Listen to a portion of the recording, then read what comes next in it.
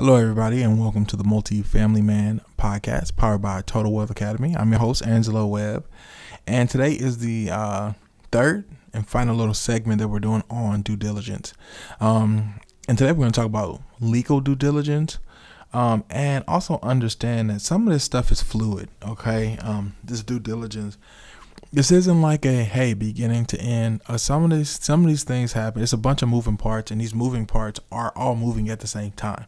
Um, so a lot of this stuff comes at the same time so i don't want anybody confused to think that some of the stuff you're doing before you're handling some of the legal side of it okay? Um, but this is just um, these things are the things that need to be checked off this list on the process.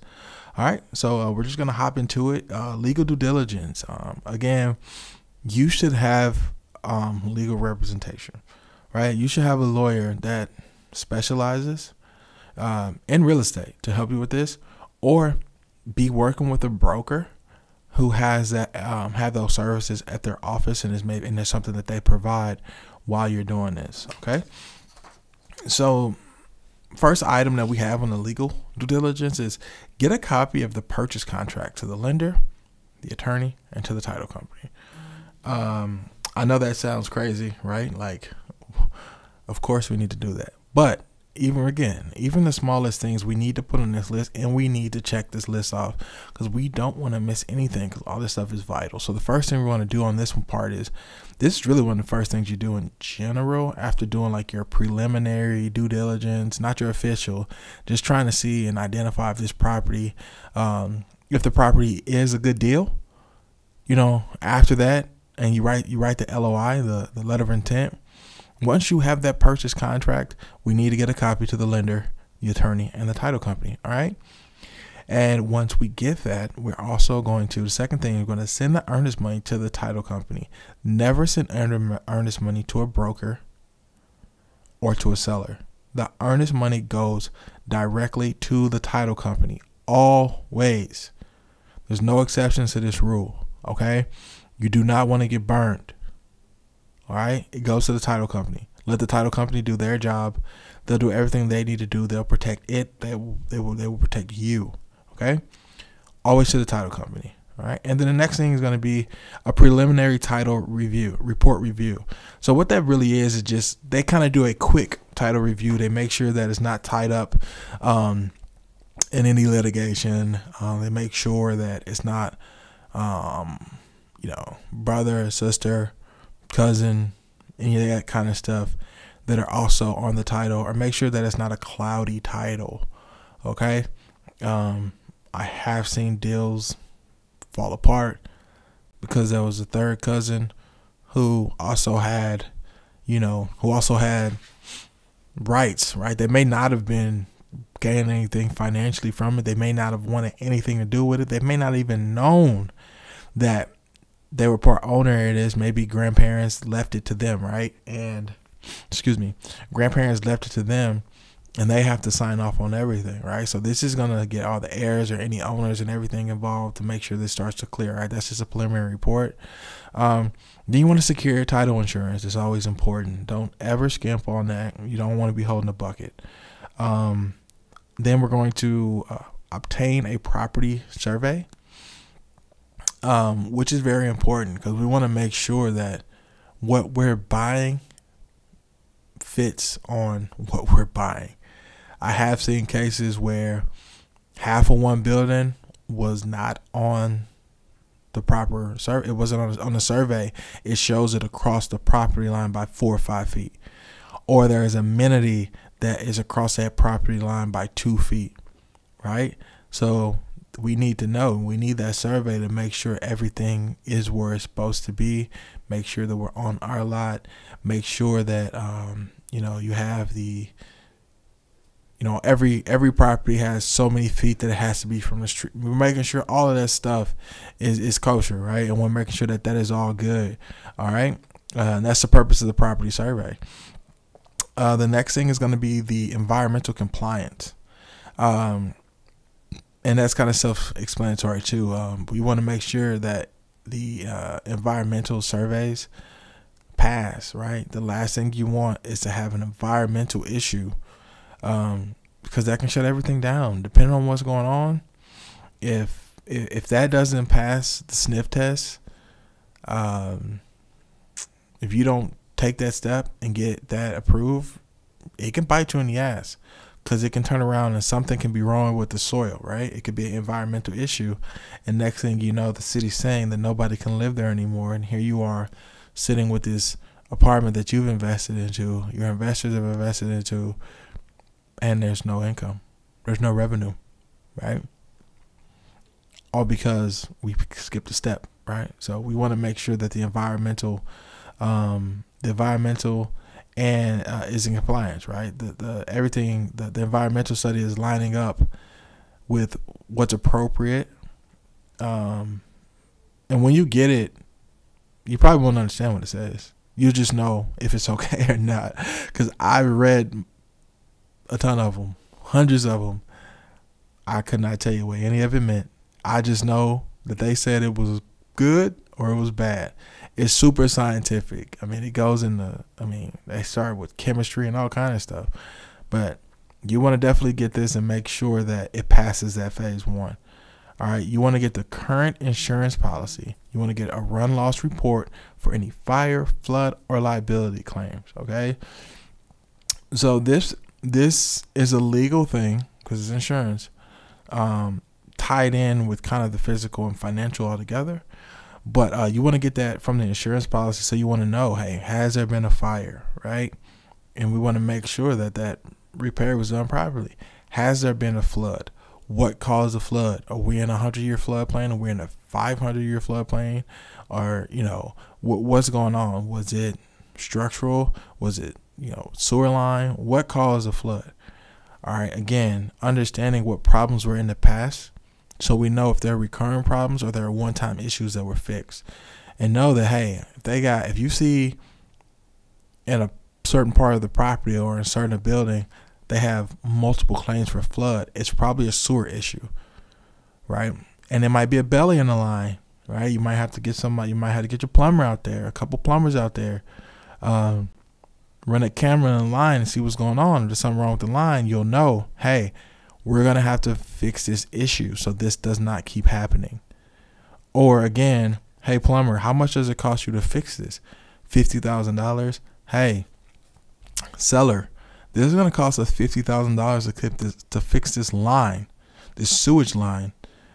We want that as a repair credit, right? If they don't want to get the repair credit, tell them, well, hey, we're going to have to take we're going to have to take 60,000 off our asking price, right? So um, that's how you want to look at. That's why those uh, the current insurance policy is important, and those run loss reports are important.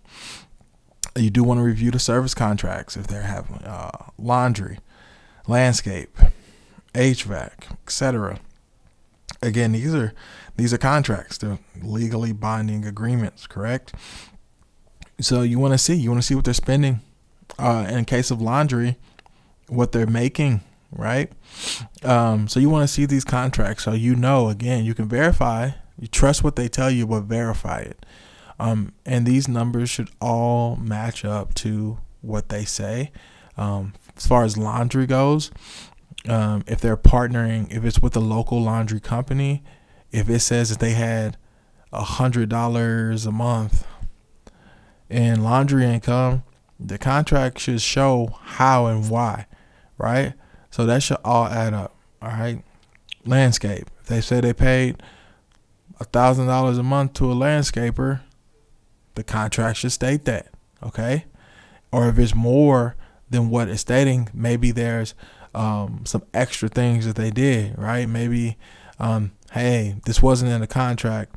However, they did, you know, change out a grassy, little grassy area um, and we made a flower bed, right? Or we mulched it. Um, all this stuff, you should see all that stuff.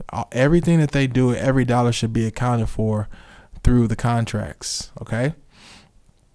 Um, the next thing you're going to do is you're going to want to um, obtain copies of all surviving guarantees and warranties, right? So any work that was guaranteed, any work that was done that was guaranteed, need all of it any um, work that was done or um, appliances that were bought, any of that stuff to have warranties, you need all of it.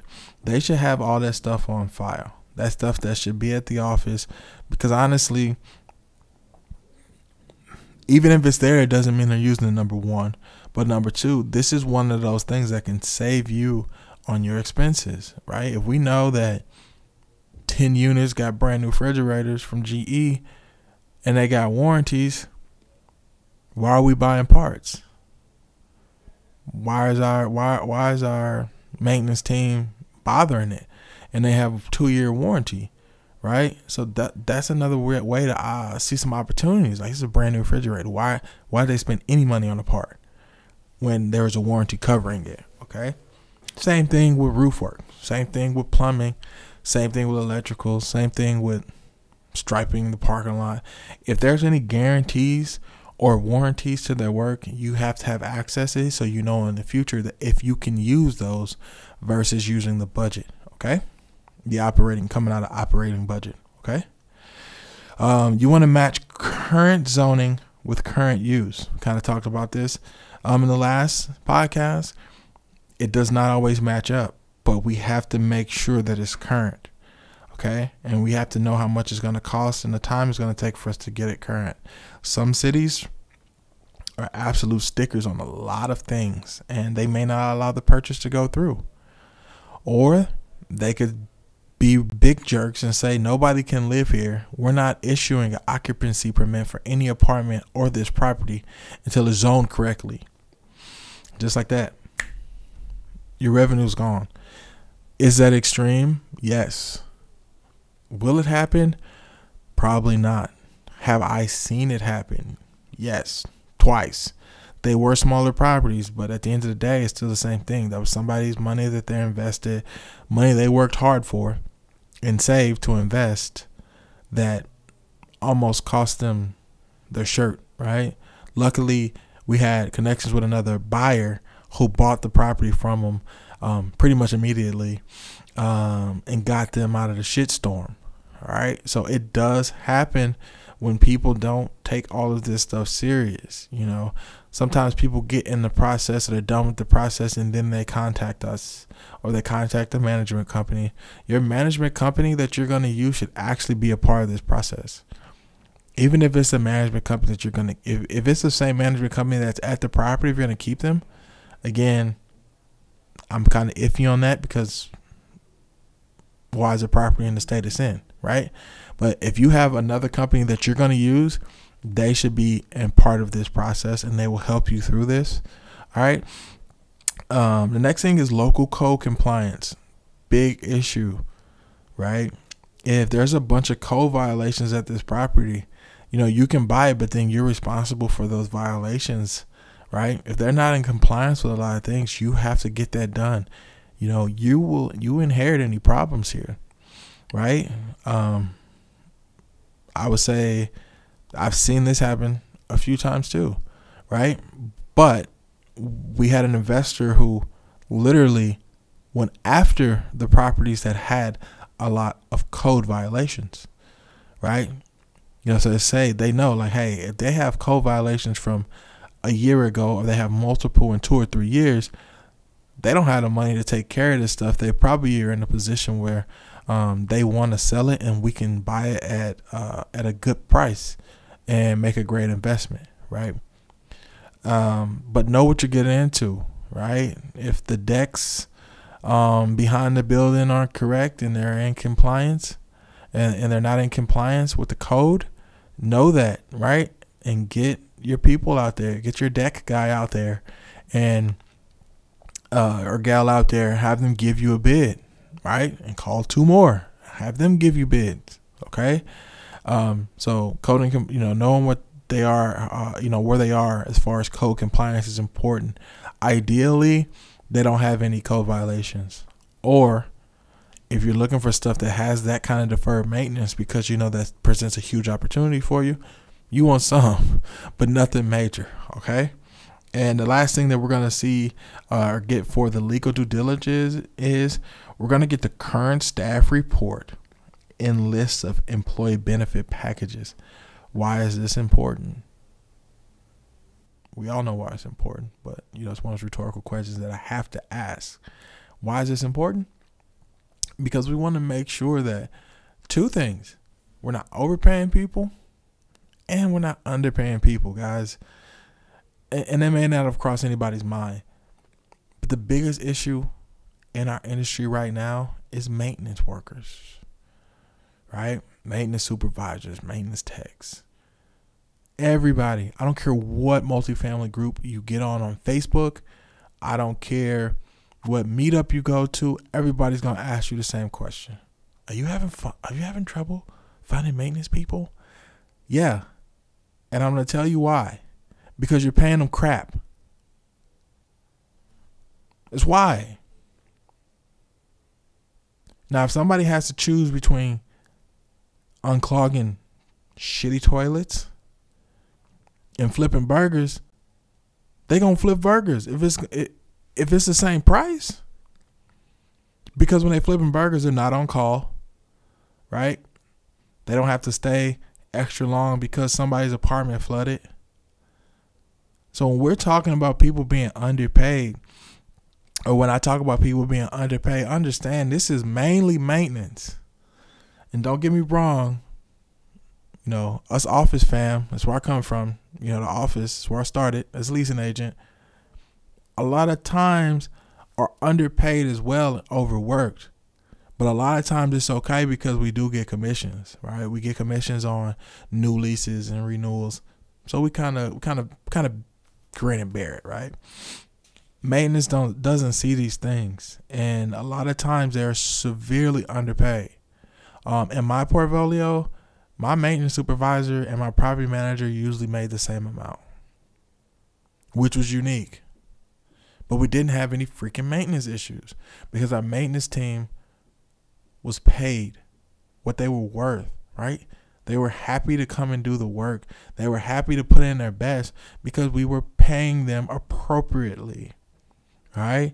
So that's why getting the staff report and understanding what their full benefit package is, what they're getting paid, do they have insurance, um, you know, are the um, members of the maintenance team getting paid mileage if they're getting called in after hours or on the weekends.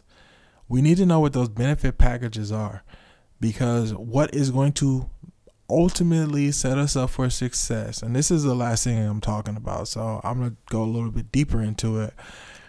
Ultimately, our on site staff is going to be the difference between success and failure.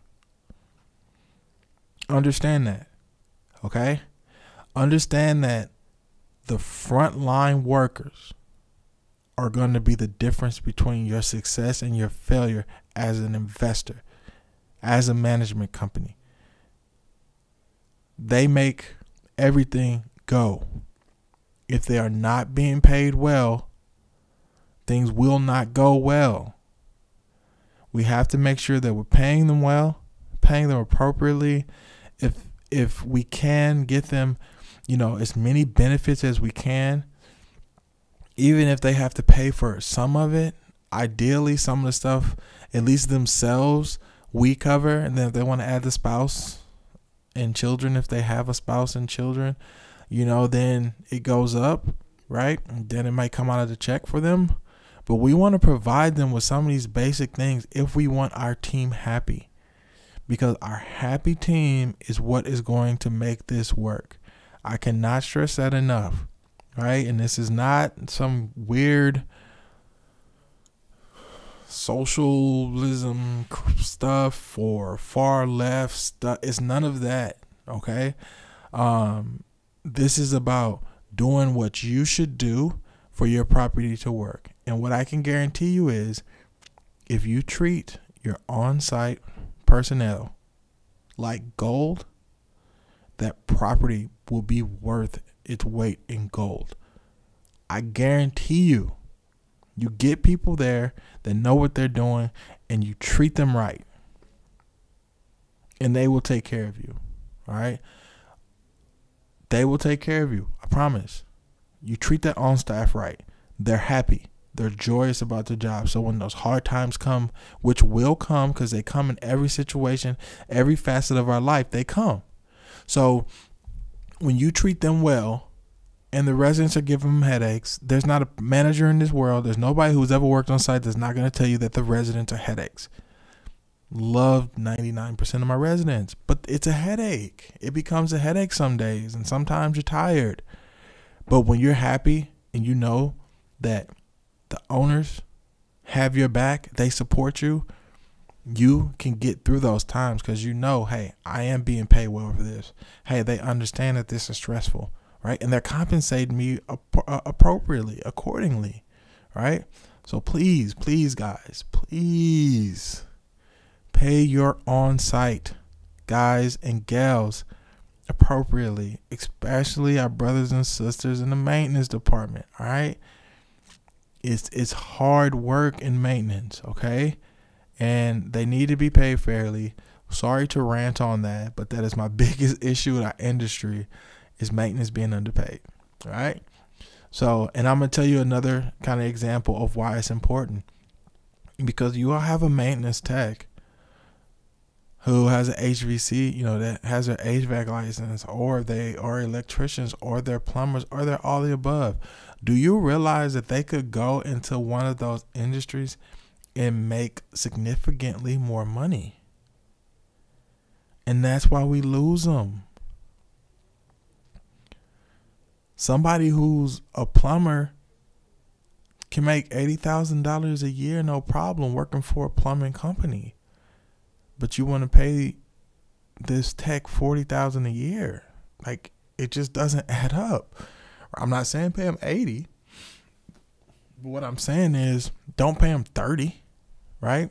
Giving them compatible, uh, compatible wages. Like it, it has to be, it has to be competitive. And if it's not, you're gonna lose them. All right. So that was the last thing with the legal due diligence, and I am a stickler on that. Make sure you are paying your on-site people properly. And on the flip side, make sure you're not overpaying. All right, pay what's fair. Um, and they'll take care of you. And ultimately, they they take care of you by taking care of your property and taking care of your residents, right? And then that asset is taken care of, which means your investment is taken care of, which means your investors' investment is taken care of, and ultimately, that's what it's about, right? It's providing, you know, providing a great product, a great place to live, safe place to live for our residents, and growing our wealth growing our capital and our long term wealth over time, right? And that becomes a win, win, win. And if it's not a win across the board, then I, I don't think it's a win at all. All right. So again, this um this was has been the last uh part of our due diligence little I guess mini series. um again, if you guys have any questions about this stuff, please feel free to email me at angelo at totalwealth.com. Also, if you are a investor who is investing in multiple prop in multi properties, a uh, multifamily properties, excuse me, which means six or more. If you're a syndicator, um, if you owned a real estate fund and you invest with syndicators, please reach out to me. I would love to have you on the show so you can share your story with us, right?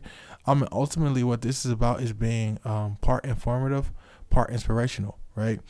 Um, so I would love to get some people on, more people on, so they can tell their story, tell how they started. Um, and again, this isn't to brag or boast; it's to inspire. Because there might be somebody like, God, Lee, I'm in that same situation. They did it. You know, I can do it. And this is what they did. I'll take those steps. Or maybe they'll say, Hell, they in the worst damn position I was in, right? So if they can do it from that position, I can do it from my position. So it's all about um, informing and inspiring everybody. Uh, again, thank you guys for joining me today. And again, this is Angelo Webb with the Multifamily Man podcast, powered by powered by Total Wealth Academy. Thank you for joining. Have a great day.